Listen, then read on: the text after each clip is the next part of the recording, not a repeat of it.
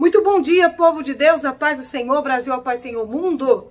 Uma ótima quarta-feira para você, onde quer que você esteja. Deus te abençoe, te proteja, te guarde, te livre do mal. Mais um dia se inicia e vamos iniciar esse dia como nós fazemos sempre, falando.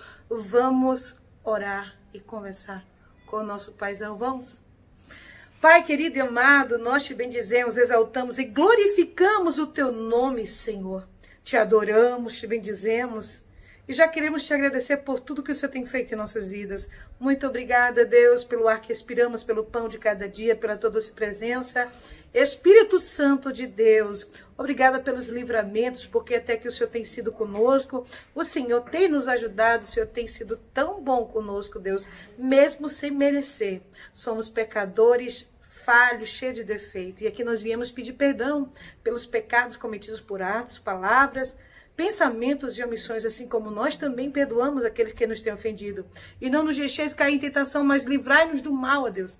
Livrai-nos do homem sanguinário, da peste perniciosa, das balas perdidas, dos assaltos e também das investidas malignas. Acampa os teus anjos ao redor do teu povo, Deus. Livra da peste, livra da seta que voa o meu dia. Seja o nosso escudo de proteção. Muda essa situação, Senhor.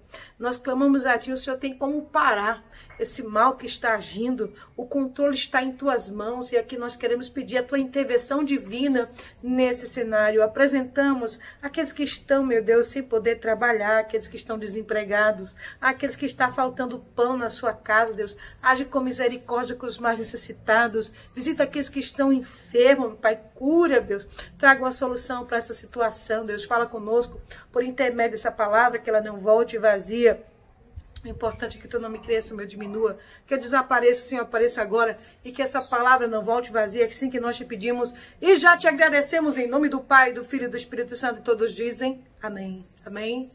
E você que já é inscrito no nosso canal, um beijo no seu coração, Deus te abençoe, se não é, tá esperando o que mesmo? Vem aqui, ó, inscreva-se, né? Ativa o sininho para receber todas as notificações. Se não receber, não tem problema. Nós temos uma programação diária aqui no YouTube, pela manhã, tarde e também à noite. Deixa teu like, ajuda a divulgar a palavra de Deus e manda essa mensagem para o máximo de pessoas que você puder. Evangeliza o que é bom, porque a internet tá aí, né? Muita coisa que não presta e está sendo compartilhada e viralizada. Então, se você ama a palavra de Deus, divulga também a palavra de Deus. A palavra que o Senhor colocou no meu coração fica no Evangelho segundo escreveu São Lucas, capítulo 7, e o versículo de número 11 diz assim: Logo depois, Jesus foi a uma cidade chamada Naim, e com ele iam seus discípulos e uma grande multidão. Ao se aproximar da porta da cidade, estava saindo o enterro do filho único de uma viúva. E uma grande multidão da cidade estava com ela. Ao vê-la, o Senhor se compadeceu dela e disse: Não chores. Depois aproximou-se, tocou no caixão. Os que carregavam paravam. Jesus disse: Jovem, eu lhe digo, levante-se. O jovem sentou-se e começou a conversar, e Jesus me entregou a sua mãe. Glorificado e exaltado seja o nome daquele que vive e que reina para todo sempre. Vejamos bem o que nos diz a palavra do Senhor. Que Jesus foi a uma cidade. Depois de sair de Cafarnaum, ele chegou nessa cidade chamada Naim. E todas as cidades tinham uma porta, só uma porta, que servia como entrada e saída. As cidades eram protegidas por muros. E quando Jesus chega na porta da cidade, ele observa uma multidão. Mas aquela multidão estava acompanhando a segunda perda que aquela mulher estava tendo ali naquele lugar. Então ela estava sendo conhecida porque ela estava perdendo. Se eu me trouxe aqui para dizer para você que não vai existir coincidência, não. Tem coisa que já estava rolando por aí. Que perdeu, que fechou, que não tem mais jeito. Já acabou, o prazo passou, o tempo passou. Mas tu crê que o Senhor vai fazer esse tempo retroceder? Você crê? Você crê que vai dar tempo do Senhor dar a última palavra neste negócio? Ah, mas o médico diz que não tem mais jeito. O advogado diz que não tem mais jeito. Fulano diz que não tem mais jeito. Mas Jesus está dizendo que tem jeito, sim. Vai ficar com o quê? Com a palavra dos médicos, das pessoas ou com a de Jesus? A Bíblia diz que aquela mulher já estava saindo. O cortejo estava saindo. E Jesus, quando viu aquela mulher, ele se compadeceu. Ela não falou nada. Ela só estava chorando, sabe por quê? Porque aquilo era a última esperança que ela tinha de garantia de futuro. Quem iria ampará-la na velhice? Ela só tinha um filho. Talvez você esteja aí, mas Senhor, era a minha garantia de sobrevivência. Era o meu trabalho. Era o meu ganha-pão, Senhor. Viúva. E agora vai perder o único filho? Jesus se compadeceu dela se aproximou, se veio conversar com ela. Assim como ele me trouxe aqui para conversar contigo, através desse vídeo para dizer: não chores.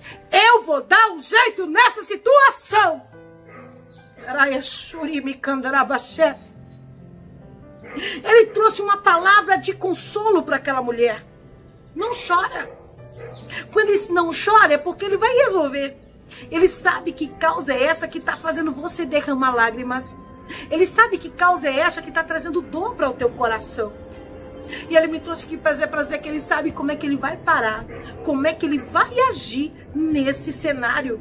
E nos diz a palavra do Senhor que quando ele diz, não chores, ele deixa lá a mulher. E ele vai falar com quem? Ele vai olhar onde está o problema. Você está chorando e tem algo que já está avançado, né? Já está avançado, já tem pessoas que está, que está, que está achando que tem o um controle da situação, está conduzindo a situação. Satanás pensa que ele está ganhando. Satanás pensa que ele vai comemorar a tua derrota, o teu fracasso nesse lugar. Mas Deus me trouxe aqui para dizer para você, ei, eu sei como é que eu vou parar. Eu sei como é que eu vou resolver. Eu sei como vou dar um basta nessa situação. Eu sei como é que eu vou parar. Ele vai lá onde está o jovem. O jovem estava ontem no caixão. Já estava preparado para ser sepultado. Tu crê que Jesus está cancelando o funeral hoje? Hum. Ele está cancelando o funeral hoje.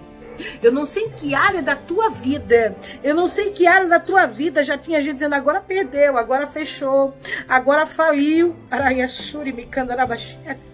Agora faliu, agora não tem mais jeito, agora do que é que vai sobreviver?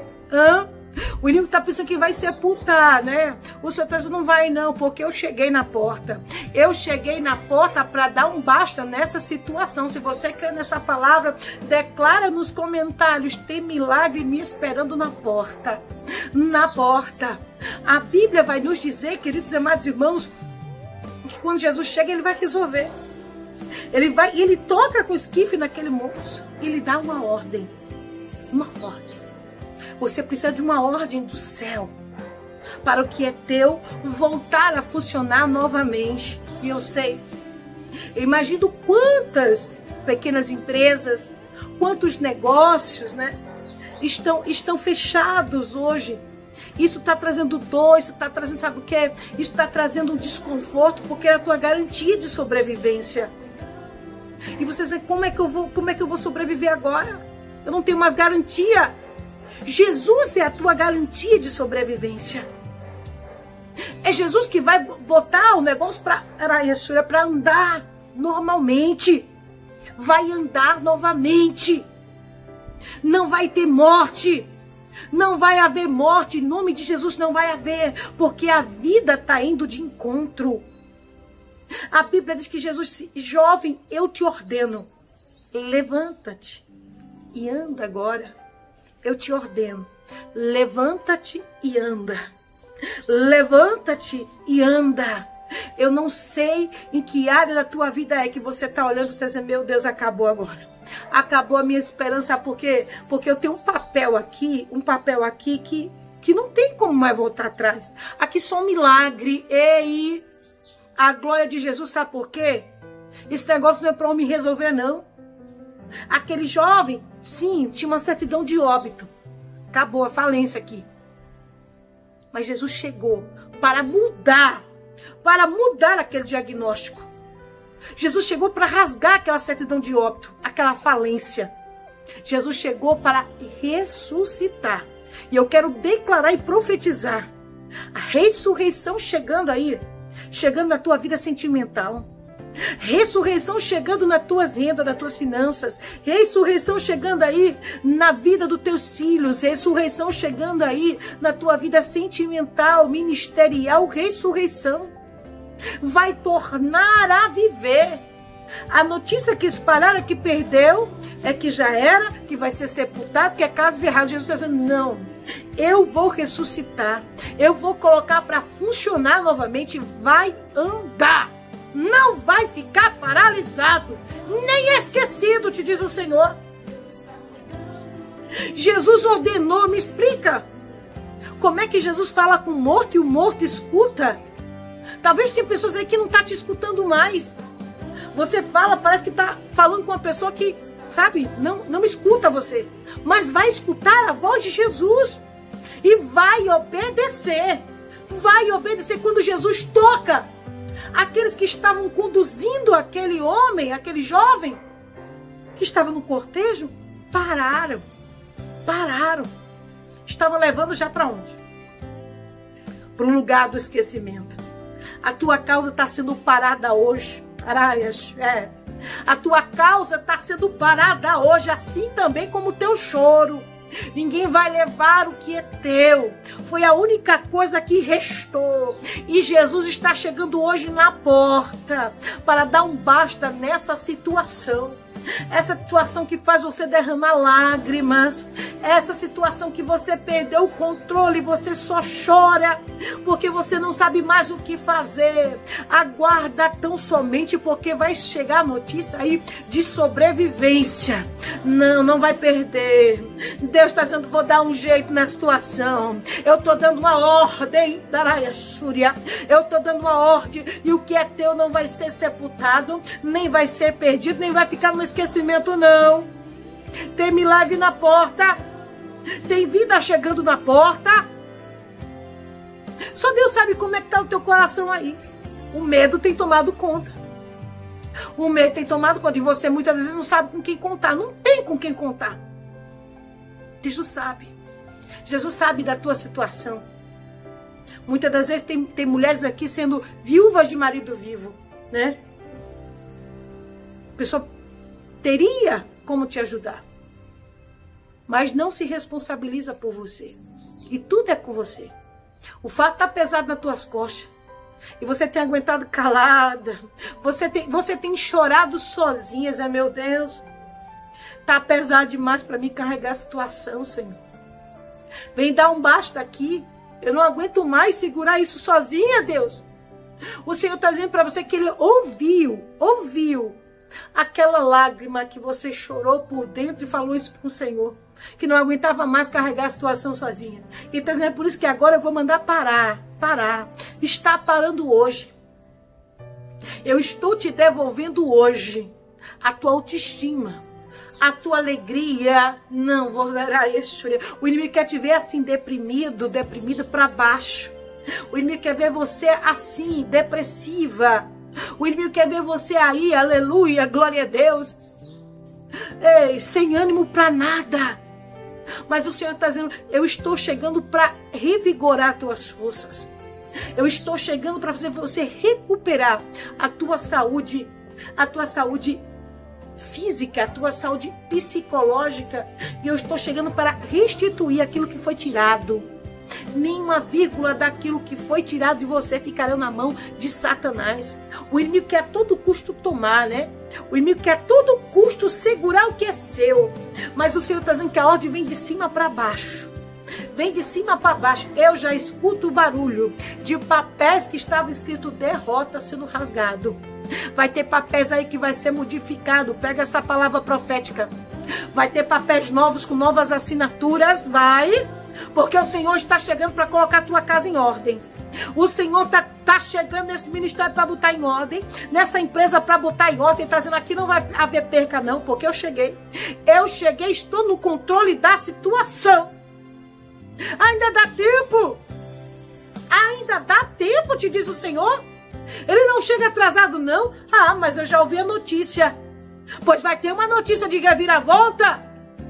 Ele chega a falar para a mãe: Toma aí teu filho. E não vou entregar do mesmo jeito que estava, não. Não vai levar para casa, sabe como? Não vai levar para casa, araia sem nenhuma utilidade. Não vai levar para casa morto, não vai levar com vida. Vai levar com vida. O Senhor está dizendo para você: não, não vai voltar do jeito que estava, não. Vai voltar com vida, vai voltar funcionando, vai voltar intacto. Assim te diz o Senhor, que está hoje paralisando toda ação maligna na tua vida, toda ação maligna na tua casa, no meio dos teus naquele filho, naquela filha problemática. A Bíblia diz que o jovem escutou e ficou de pé. E ele foi para casa com a sua mãe. Como assim? A rota foi mudada. Deus está dizendo: a rota vai ser mudada. A rota vai ser mudada. Era para ir para um lugar, vai para o outro agora. Vai para onde? Vai para o lugar de onde não poderia ter saído. Certo que algumas coisas aconteceu que você não entendeu aí, mas o nome do Senhor vai ser glorificado nesta volta. Eu quero profetizar uma volta e essa volta vai ser, vai dar o que falar. Essa volta vai ser por cima neste lugar, neste mesmo lugar que você perdeu, neste mesmo lugar que você ficou tão para baixo, vai ser neste lugar. Vai ser neste lugar onde o Senhor vai ressuscitar o teu sonho, a esperança sim para a tua vida, a esperança sim para a tua família, a esperança sim para estes negócios, as portas portas não vão se fechar. Te diz o Senhor. Ele mudou. Ele mudou. Me explica agora. Me explica agora como é que vai explicar que uma pessoa morre e depois volta a viver. Assim vai ser seu milagre, não vai ter explicação, não. Mas você vai saber que foi a mão de Deus que te devolveu. Você vai saber que foi a mão de Deus, a mão de Deus que esteve sempre no negócio. E quando Jesus coloca as mãos, ele não perde nem empata. Ele nem vai perder e nem vai empatar. Mas ele vai devolver tudo que é seu por completo. Prega essa palavra. Vai ser por completo, não vai ser pela metade, não. Vai voltar a ser como antes, não vai ficar com deficiência, não. Falência não existirá nesse cenário, porque o nosso Deus é o dono do ouro e da prata. O dono do ouro e da prata. Aquele jovem volta para casa com a sua mãe. E todos os que estavam ali, a multidão, Todos eles ficaram perplexos. Como assim? Eis que se levantou um grande profeta no meio de nós. A notícia se espalhou. A notícia se espalhou o quê? De ressurreição. Ressurreição. Deus ainda ressuscita sonhos. Ainda que ele tenha aqui e hoje, na tua Naim. Aquela mulher é conhecida não pelo nome dela, mas a viúva de Naim, a viúva daquela cidade a perdedora agora agora teve um testemunho para contar jamais visto na cidade. E eu quero declarar e profetizar na tua vida. Quem viu você perdendo, vai te ver você ganhando. Quem viu você chorando, vai te ver sorrindo. Quem viu você por baixo, vai te ver dando a volta por cima. Tudo aquilo que é teu e saiu das tuas mãos. E o inimigo de alguma forma tentou segurar, ele vai soltar. Ele vai soltar. Aguenta tão somente a pressão. O Senhor sabe do limite. O Senhor sabe onde está encaminhando esse processo. Mas Ele me trouxe aqui para dizer para você que Ele é teu advogado, Ele que está trabalhando nesta causa e você não se desespere.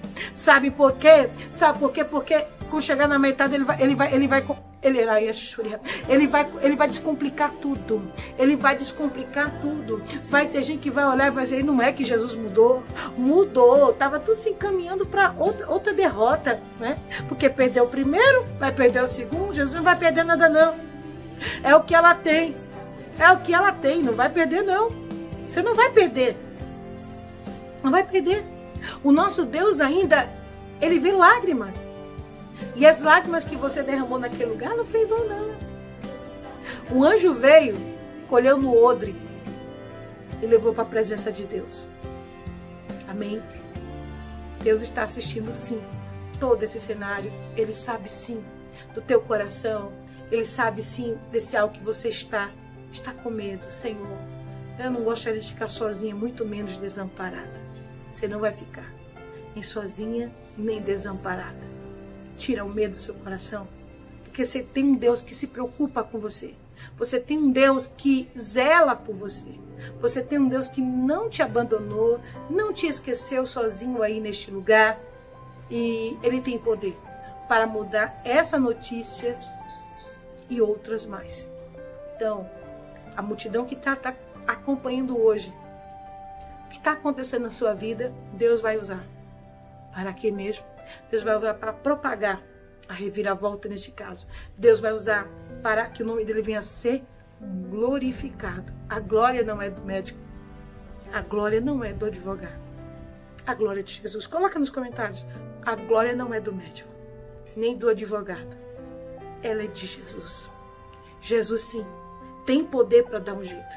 Jesus sim vai dar a última palavra. Jesus sim vai dar o veredito final. E toda aquela cidade teve que comentar daquela reviravolta. Imagina que tinha muitas pessoas lá que nem sempre todo mundo agrada, né? A todos. Imagina que aquela mulher tinha algumas pessoas que não gostavam dela, né? Aplaudindo aí, ó. Tá perdendo, né? A porta vai se fechar. Olha aí. Aí a, a notícia, quando é ruim, ela se espalha com facilidade, né? Aí quando é de perda, olha aí, outra perda. Mas ali Jesus calou a boca. E é isso que ele vai fazer. Ele vai calar a boca de muita gente aí. Estava comemorando um momento de fracasso. Era viúva, agora ia perder o que tinha de único. Não vai perder, não. Vai perder porque eu cheguei na porta para fechar. Estou me arrepiando. Está cancelado esse documento. Esse documento que tá, ia declarar a tua derrota está tá cancelado. Está cancelado esse funeral. Está cancelada essa derrota da tua vida sentimental, ministerial. Está sendo cancelado, ei, era Exúria, esse documento aí que decretava falência nesse negócio está cancelado em nome de Jesus Cristo. Coloca nos comentários. Está cancelado todo o mal na minha vida em nome do Senhor Jesus. Deixa eu orar por você agora.